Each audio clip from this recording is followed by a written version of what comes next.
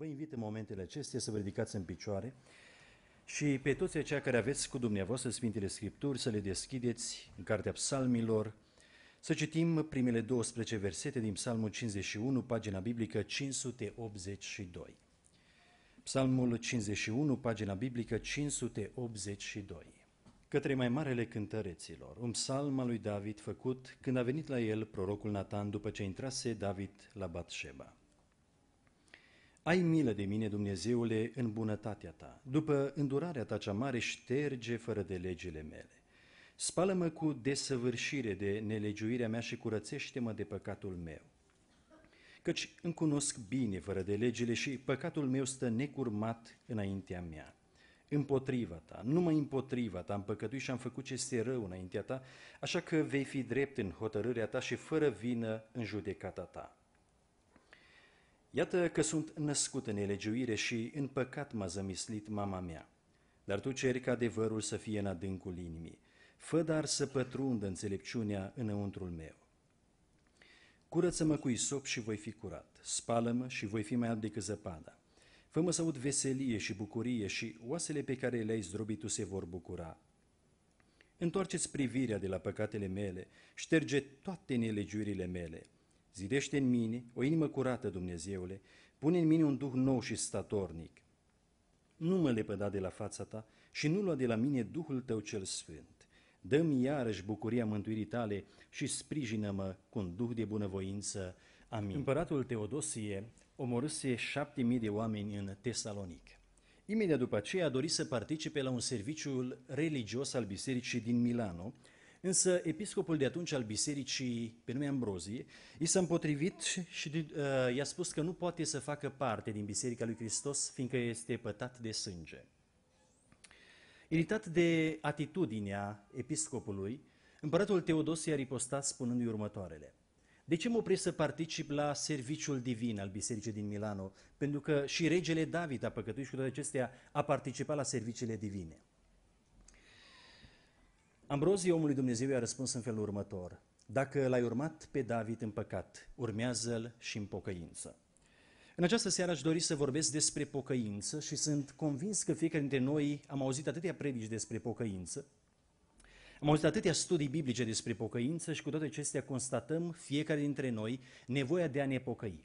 Pentru că pocăință, preiubiții mei, este un lucru care se petrece atunci când omul se întâlnește cu Dumnezeu, are nevoie de pocăință ca să se întoarcă la Dumnezeu și să-i slujească, dar în același timp este o stare de fapt, este o stare permanentă în fiecare zi. Omul care îl iubește pe Dumnezeu trebuie să se cerceteze și trebuie să se pocăiască.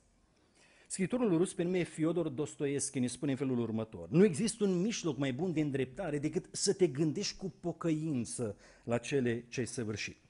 Și mesajul Domnului pentru noi se intitulează în această seară Pocăința din nou cu Dumnezeu. Pocăința din nou cu Dumnezeu. Potrivit cuvântului din această seară, din Cartea Psalmilor, capitolul 51, sau așa cum spunem noi, Psalmul 51, primele 12 versete. Pocăința admite păcatul, implică regrete, imploră iertare, aduce schimbare și conferă bucurie. Așadar, preiubiții mei, frați și surori, dragi prieteni, pocăința admite păcatul. Pocăința admite păcatul. În versetul 3, David spune că îmi cunosc bine fără de legile și păcatul meu stă necurmat înaintea mea. Ori, a spune îmi cunosc bine fără de legile și păcatul meu stă necurmat înaintea mea, presupune că mai întâi de toate celelalte să admiți faptul că ești un om păcătos. Să recunoști că l-ai supărat pe Dumnezeu, că ai păcătuit față de Dumnezeu și în felul acesta te-ai făcut vinovat față de Dumnezeu. Pocăința admite păcatul, adică omul care se pocăiește recunoaște faptul că l-a întristat pe Dumnezeu. Recunoaște faptul că este un om păcătos. Frații mei, nu se poate pocăință biblică, veritabilă, fără, de, fără ca să admiți propria stare, fără ca să admit propria mea stare. Nu se poate să mă pocăiesc cu adevărat așa cum înțelege Dumnezeu în Scripturi pocăința, fără să spun, Doamne, sunt un om păcătos.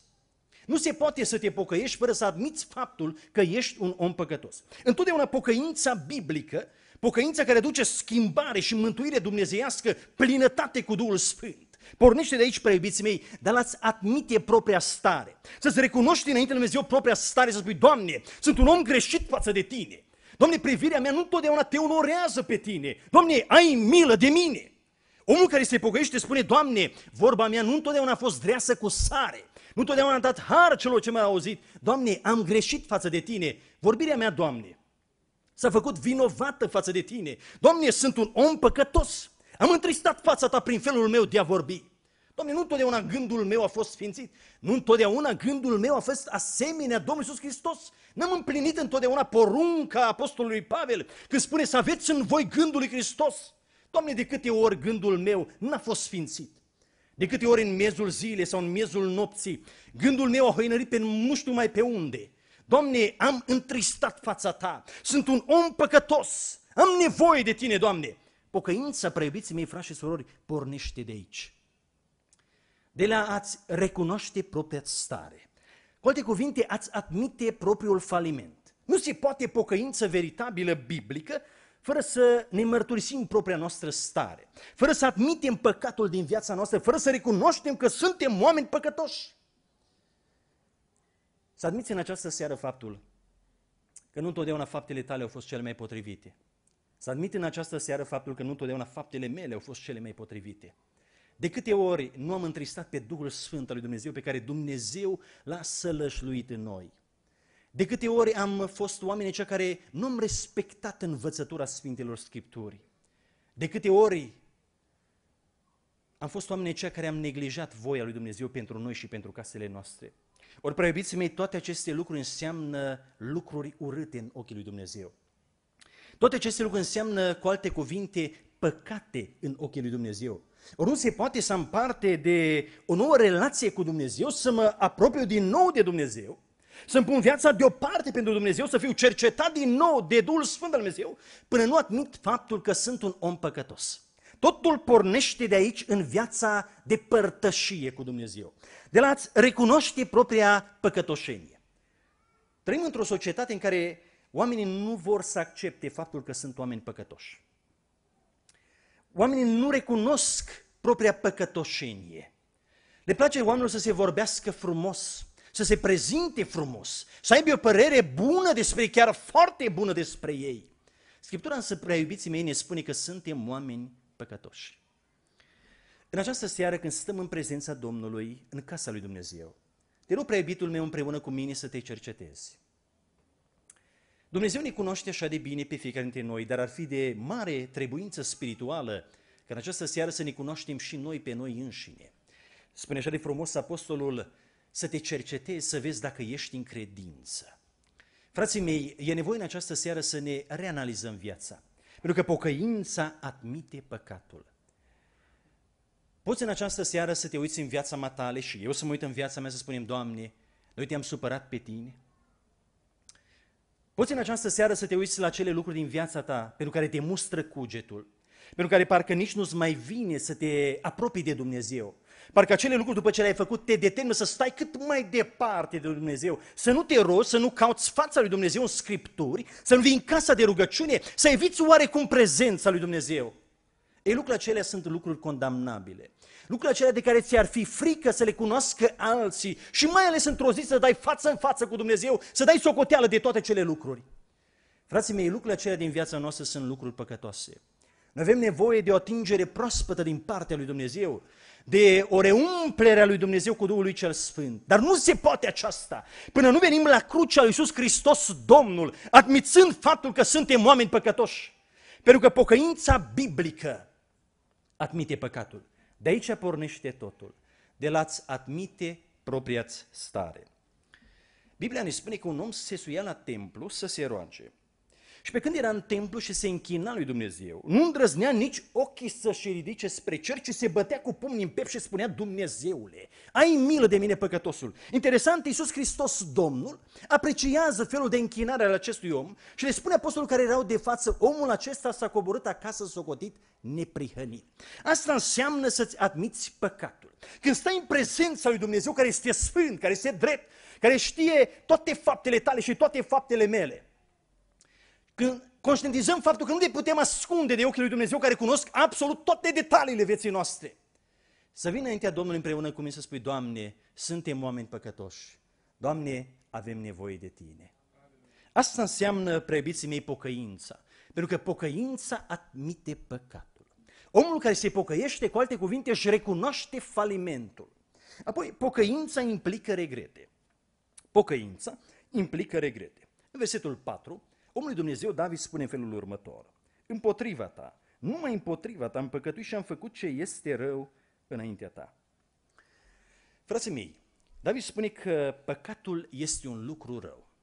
Asta este o chestiune care nu prea face casă bună cu învățătura zilelor noastre, promovată de societatea în care noi trăim. Mulți recunosc că anumite lucruri sunt păcătoase, dar nu vor, nu vor să accepte faptul că păcatul este un lucru rău. David spune foarte clar că păcatul este un lucru rău în ochii lui Dumnezeu. Acum, tot ceea ce Dumnezeu numește a fi păcat înseamnă că este păcat. Și tot ceea ce Dumnezeu numește a fi un lucru rău, denotă faptul că este un lucru rău. Toate păcatele noastre sunt lucruri rele în ochii lui Dumnezeu. Nu doar atât, prea iubiții mei. Păcatul nostru lovește în Dumnezeu. David spune împotriva ta, numai împotriva ta am păcătuit. Atunci când citim acest pasaj al Scripturilor, suntem oarecum contrariați. Pentru că, în prima instanță, păcatul lui David a lovit în Batsheba, a lovit în Urie Hetitul și nici de cum în Dumnezeu, spune noi, cu mintea noastră a oamenilor care trăim în această societate. Cu toate acestea, David spune, păcatul meu, Doamne, în primul rând a lovit în Tine. Toate păcatele noastre, dincolo de a lovi în cei pe care noi vrem să afecteze păcatul nostru, lovesc în Dumnezeu. Oarele acelea trântite în fața soțului, dincolo de a-l supăra pe el, îl supără pe Dumnezeu. Cuvântul acela de dojană, de jignire la adresa soției, că o trebuie să spui că n-ai avut altă soluție sau o trebuie să spun că n-am avut altă soluție. Mai întâi a lovit în Dumnezeu. Cuvântul acela poate e puțin nepotrivit pe care l-ai spus la locul tău de muncă. Am spus la locul meu de muncă. Cuvintele acelea nu tocmai potrivite pe care le-am rostit. N-au lovit în primă instanță în cei pe care i-am jignit într-un fel sau altul, ci a lovit în Dumnezeu. Nervii aceia care sar ca popcornul, lovesc în primă instanță în Dumnezeu. Toate păcatele noastre lovesc în Dumnezeul nostru. În Dumnezeul nostru care ne poartă de grijă. În Dumnezeul nostru care este alături de noi în toate circumstanțele nefavorabile ale vieții. În acel Dumnezeu care atunci când te pleci pe genunchi și îți deschizi fereastra inimii spre Ierusalimul ceresc, te ascultă din ceruri. Acel Dumnezeu care atunci când ai rămas la reanimare și n-a mai fost nimeni cu tine în salon, a rămas cu tine acolo lângă patul tău să te întărească. Atunci când ți-ai pierdut copiii din priviri, el a avut în privire lui să-i păzească, să-ți aducă din nou tefere acasă. În timp ce atâția părinți și-au pierdut copiii din priviri și niciodată nu i-au mai întâlnit. În Dumnezeul acesta lovește păcatul tău și păcatul meu, preibitul meu, frate și soră. Toate păcatele noastre lovesc mai întâi de toate în Dumnezeul nostru. Abia apoi care ricoșeu lovesc și în cel din dreapta și în cel din stânga. Din casa noastră, din biserică, din societate, de la locul nostru de muncă, de la școală, oriunde am fi. Păcatul nostru lovește nu doar în cel de lângă noi, în aproapele nostru, ci lovește în mod expres în Dumnezeu. În ciuda păcătoșeniei noastre și a slăbiciunii noastre, totuși El ne iartă. Totuși el ne dă pâinea cea de toate zilele. Totuși Duhul lui cel Sfânt ne cercetează. Totuși cuvântul lui cel Sfânt ne vorbește. Nu te poate cuprinde, nu ne poate cuprinde un alt sentiment decât sentimentul de părere de rău. Doamne, Tu ești așa de bun cu mine. Doamne, Tu ești așa de îndurător cu mine, în pofida faptului că eu sunt un om păcătos. În pofida faptului că te-am întristat prin atâtea lucruri, Doamne, nu sunt vretnic să stau înaintea Ta. Asta înseamnă pocăință. Pentru că pocăința implică regrete. Să te uiți în această seară la viața matale, să mă uit în această seară la viața mea și la toate cele păcate pe care le-am făcut, să atașăm în această seară părere de rău. Frații mei, toate păcatele noastre lovesc în inima de Tatăl lui Dumnezeu. Acele păcate pe care nu le știe absolut nimeni sau le știu și alții, lovesc în Dumnezeul tău și lovesc în Dumnezeul meu. Lovesc în Dumnezeul nostru care a murit pe cruce în persoana lui Iisus Hristos pentru noi. Toate păcatele noastre lovesc în Dumnezeul nostru. Toate păcatele noastre întristează pe Duhul Sfânt al lui Dumnezeu.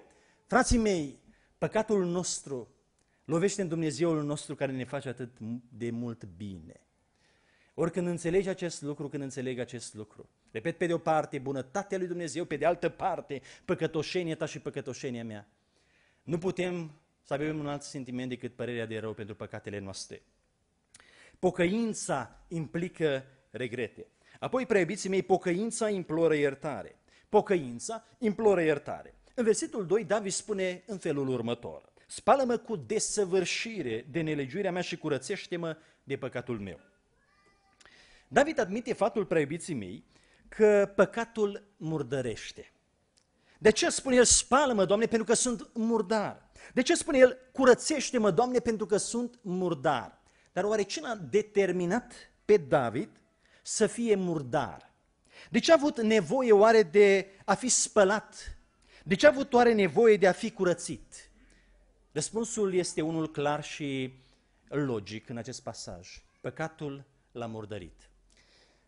Prebiții mei, toate păcatele noastre ne murdăresc. O mică minciunică, am spune noi uneori, dar păcatul acela, o mică minciunică murdărește haina sufletului nostru. O mică bârfă, că toată lumea bârfește. Abia am așteptat momentul să spun și eu ceva despre la că, uite ce ți-a spus el despre mine. Dar păcatul acela murdărește. O mică părere de rău, de ce și-a luat el așa mașină și eu nu am bani să-mi cumpăr mașină? Doamne, tu nu vezi că eu am mașina asta și nu prea are cai putere? Uite ce mașină și-a luat el. O, de ce oare i-a dat Dumnezeu mașina aceea? O mică părere de rău pe el. Toate acestea nu fac nimic altceva decât să murdărească haina sufletului nostru.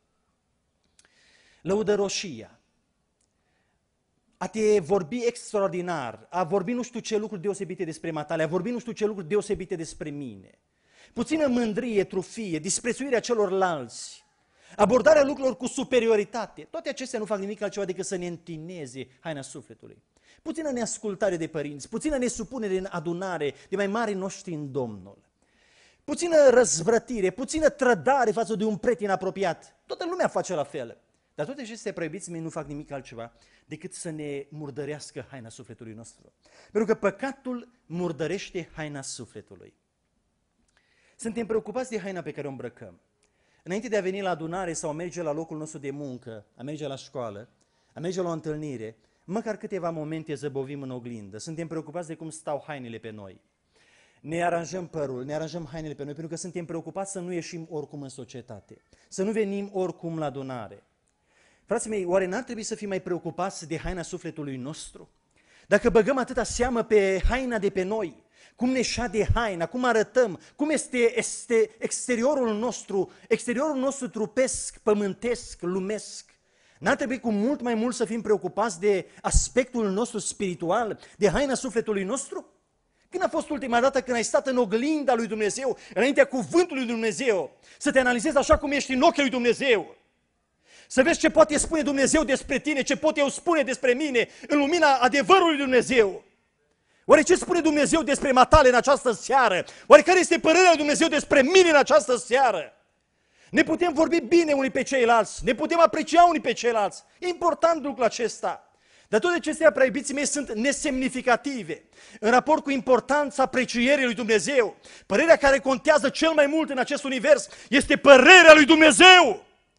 Și Dumnezeul nostru știe totul și cunoaște totul, mărit să-i fie numele. Oare ce părere are Dumnezeu despre tine? Ce părere are Dumnezeu despre mine?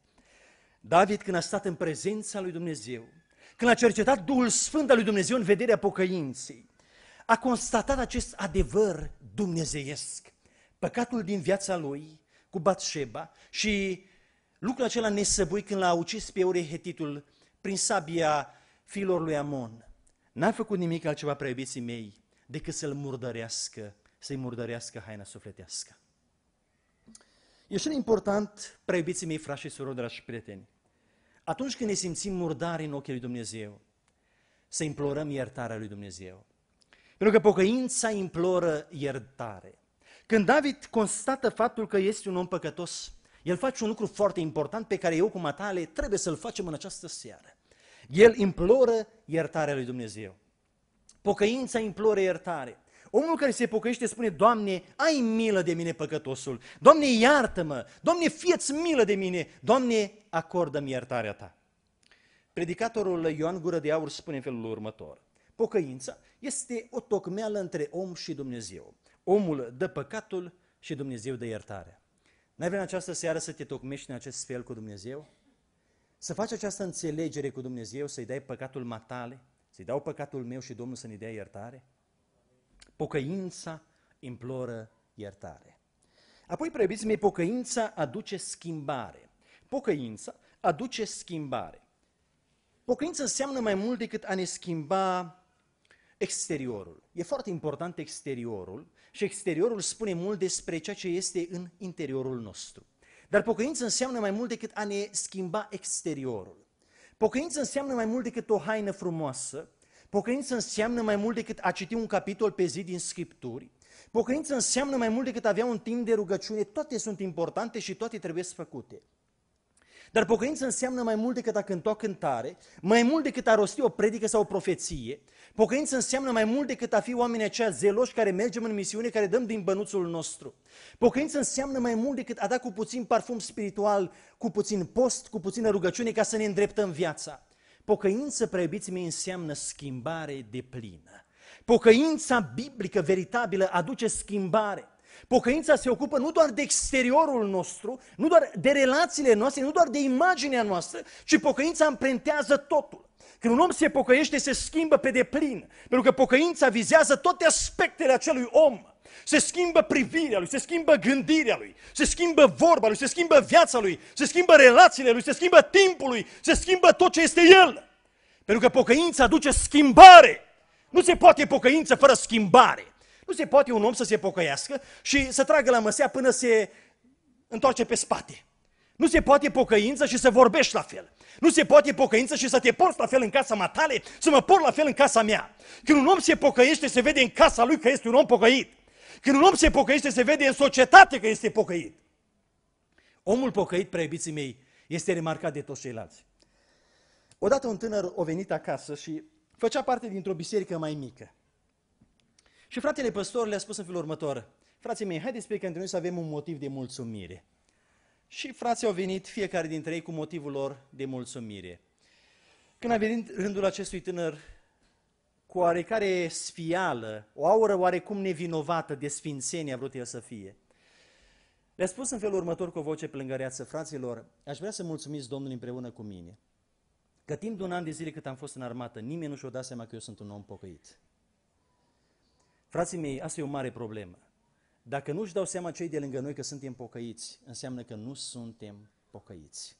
Pentru că un om care se pocăiește, emană în jurul lui prezența lui Dumnezeu.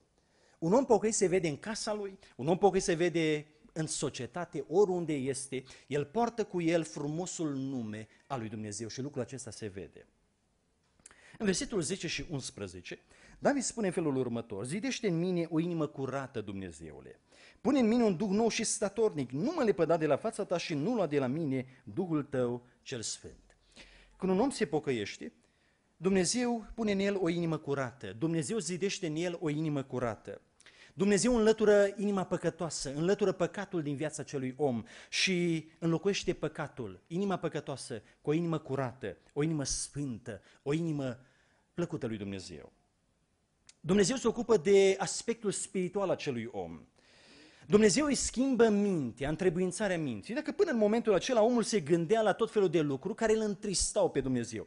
Un om era în permanență preocupat de cum să facă mai mulți bani, cum să fie mai șmecher, cum să-i meargă mai bine. Omul care se pocăiește începe să gândească în felul următor, cum aș putea să îi fiu mai plăcut lui Dumnezeu? Cum aș putea să vorbesc mai frumos despre Dumnezeu și cu Dumnezeu? Cum aș putea să înțeleg mai bine cuvântul lui Dumnezeu? Cum aș putea să fiu mai de folos lucrării lui Dumnezeu? Cum aș putea să mă port mai bine în casa mea, cu soțul, cu soția, copiii, cu părinții? Cum aș putea mai mult să onorez pe Dumnezeu prin viața mea? Cu alte cuvinte, el are gândul lui Hristos. Un om care se pocăiește are sentimentele schimbate. Dintr-un om care avea sentimente de afecțiune pentru lucrurile acestea trecătoare, vremelnice, păcătoase, Dumnezeu își schimbă sentimentele și face din el un om care iubește ceea ce el iubește și urăște ceea ce el urăște. Dintr-o voință care era roabă păcatului, Dumnezeu o schimbă, o transformă și face din ea o voință care se pleacă înainte lui Dumnezeu și slujește lui Dumnezeu. Trăiește pentru gloria lui Dumnezeu. Când un om se pocăiește, el stă în prezența lui Dumnezeu. Pentru că David spune, Doamne, nu mă lepăda de la fața Ta. Asta înseamnă că omul care se pocăiește tocmai de acest lucru beneficiază de a sta în fața lui Dumnezeu. Și când stai în fața lui Dumnezeu, spune psalmistul, te luminezi de prezența lui Dumnezeu.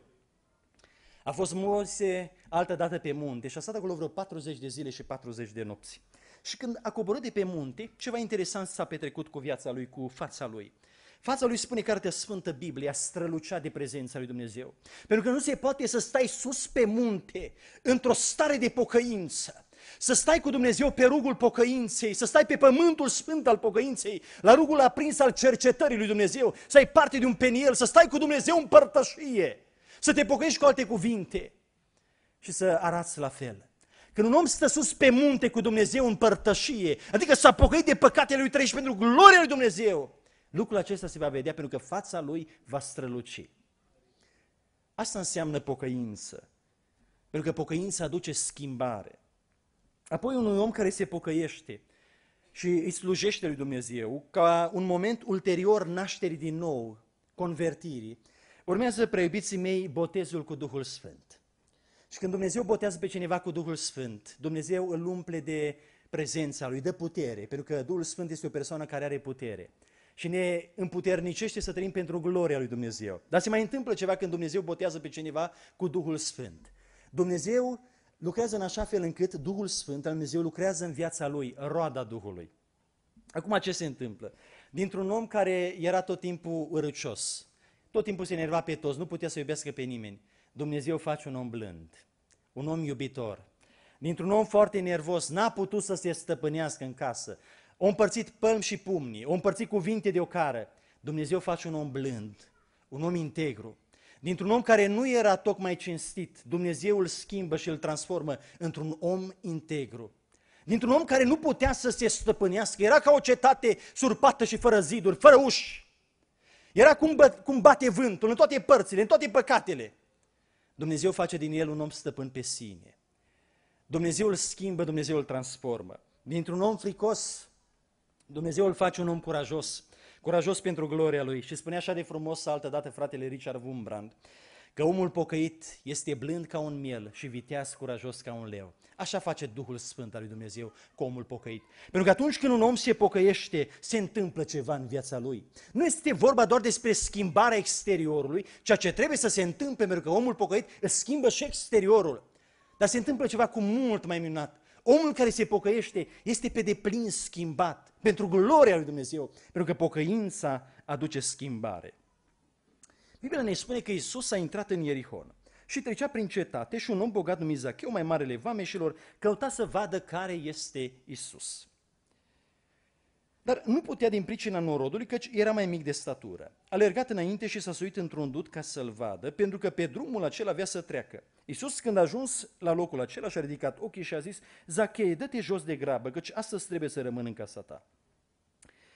Zacheu s-a dat jos în grabă și l-a primit cu bucurie. Când au văzut lucrul acesta, toți cârteau și ziceau, a intrat să găzduiască la un om păcătos, dar Zacheu a stat înaintea Domnului și a zis, iată, Doamne, jumătate din avuția mea o dau săracilor. Și dacă am năpăstuit pe cineva cu ceva, îi dau înapoi împătrit.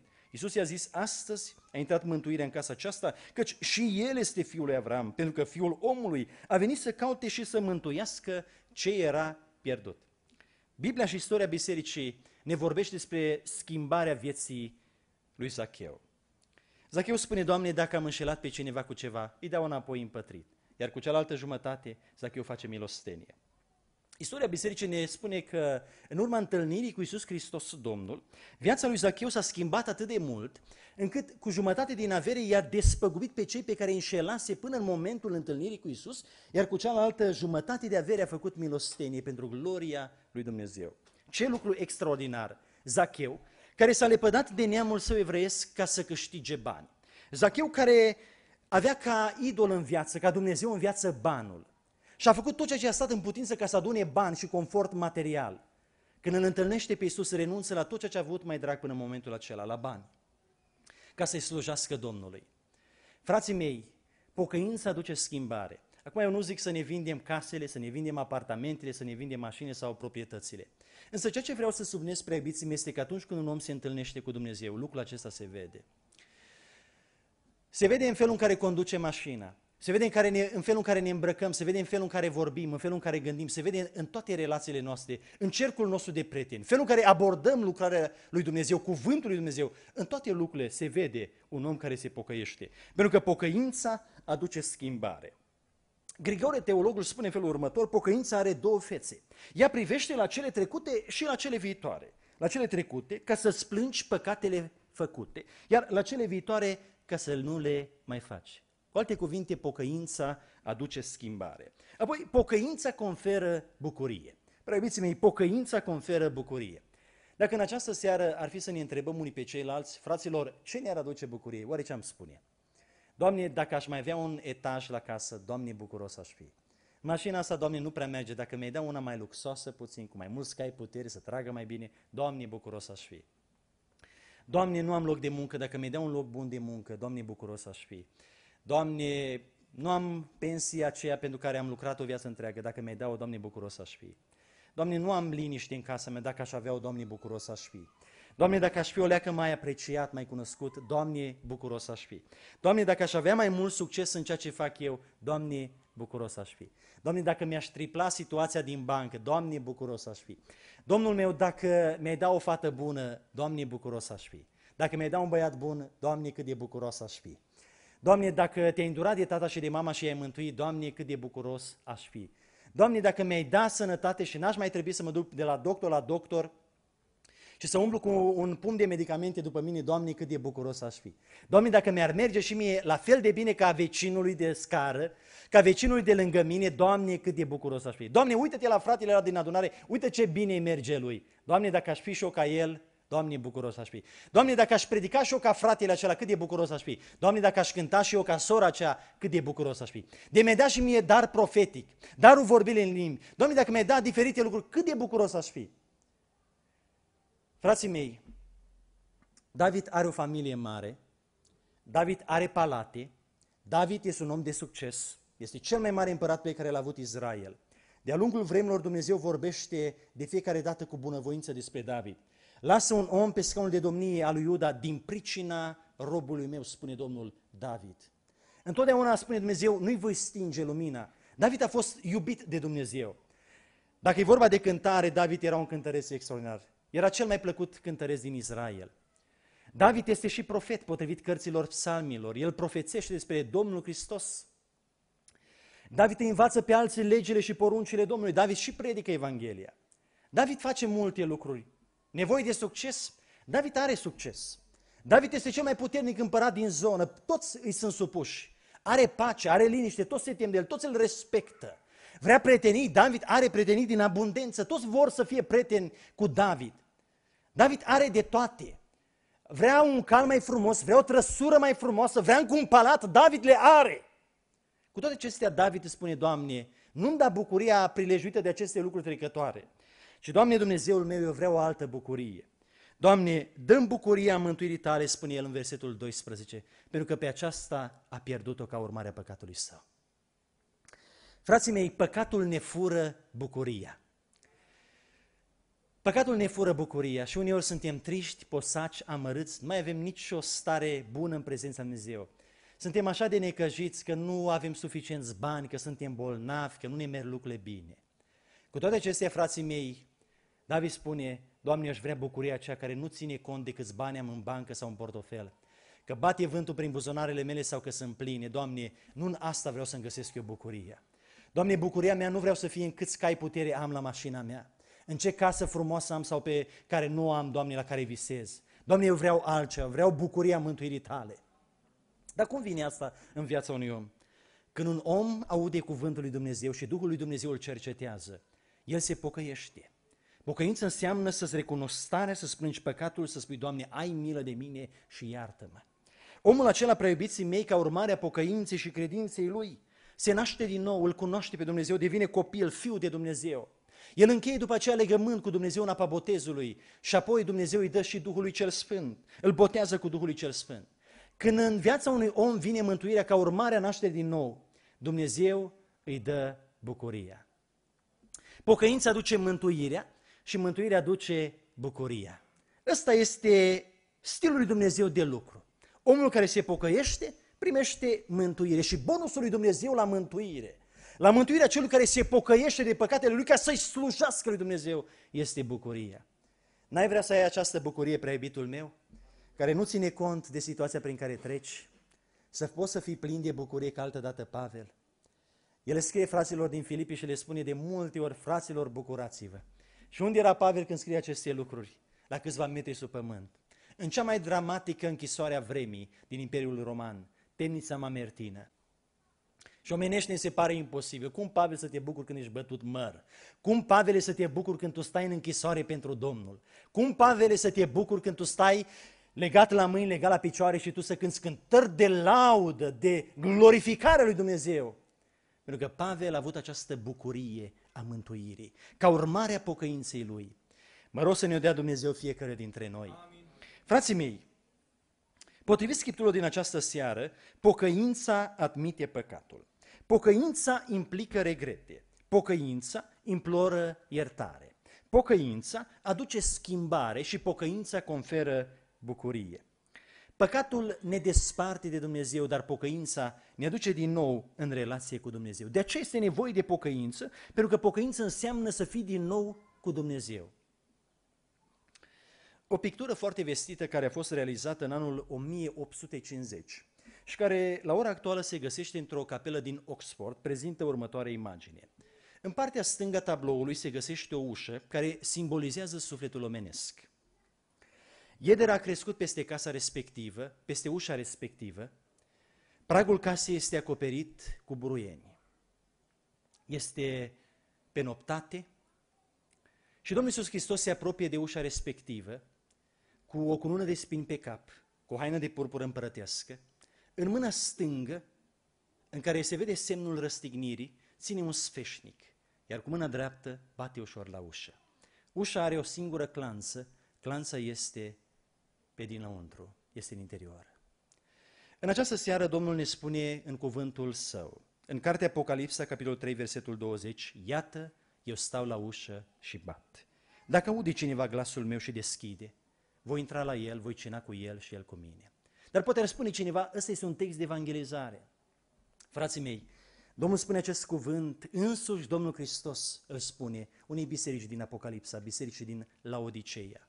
Iată, eu stau la ușă și bat. Poate în această seară te uiți la viața matale, mă uit la viața mea și vedem că ușa inimii noastre este închisă față de Domnul. A început să crească păcatul peste viața noastră, peste casa sufletului nostru. Și Domnul nu ne mai cercetează și ne simțim tot mai departe de Domnul. Păcatul a baricadat ușa sufletului nostru, ca nu cumva să intre Domnul acolo și să ne schimbe viața pentru gloria Lui. Dacă în această seară te găsești într-o astfel de situație, dacă în această seară mă găsesc într-o astfel de situație, este momentul potrivit să ne cercetăm. Pentru că în această seară Domnul Iisus Hristos este în mijlocul adunării, trăiască în numele.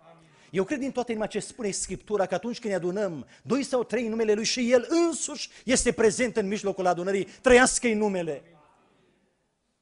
El bate ușor la ușa inimii tale, El bate ușor la ușa inimii mele. N-ai în această seară împreună cu mine să spui Domnului, Doamne, te rog, intră în inima mea pe deplin.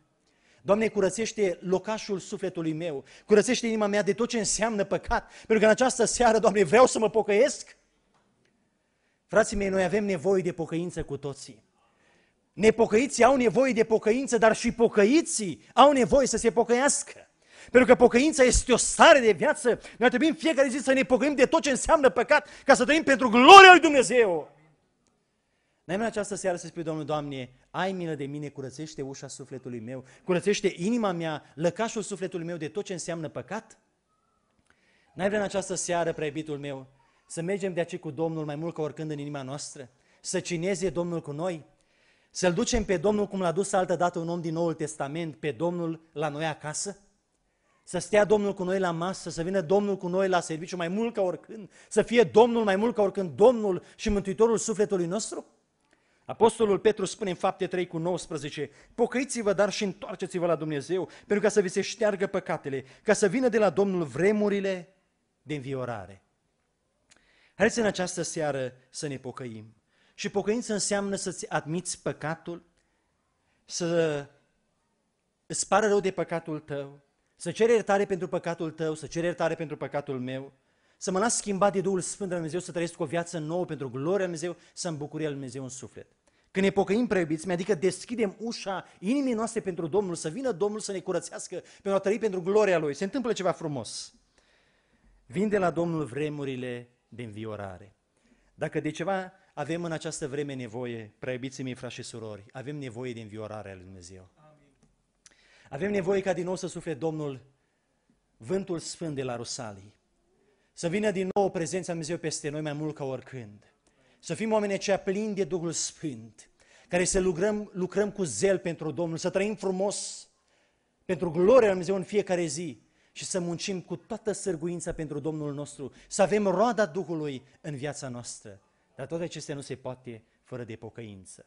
Pentru că, întâi, vine pocăința. Și când un om se pocăiește, Dumnezeu aduce în viața lui vremuri de înviorare. Să ne pocăim, preiubiții mei, de păcatul nostru. Pentru că păcatul nostru ne desparte de Dumnezeu, dar prin pocăință ne reapropiem de Dumnezeu, ne repunem în relație cu Dumnezeu, suntem din nou cu Dumnezeu. Și nimic nu e mai frumos sub soare decât să umbli cu Dumnezeu în fiecare zi, cum a umblat altă dată în nou. Pentru că noi așteptăm acea zi frumoasă când va veni Domnul să ne ia la cerul, să fim pentru totdeauna cu El în patria cerească. Dar toate acestea nu se pot fără de pocăință. De aceea să ne ajute Domnul să ne pocăim din toată inima noastră pentru a fi din nou cu Dumnezeul nostru așa cum vrea El. Amin.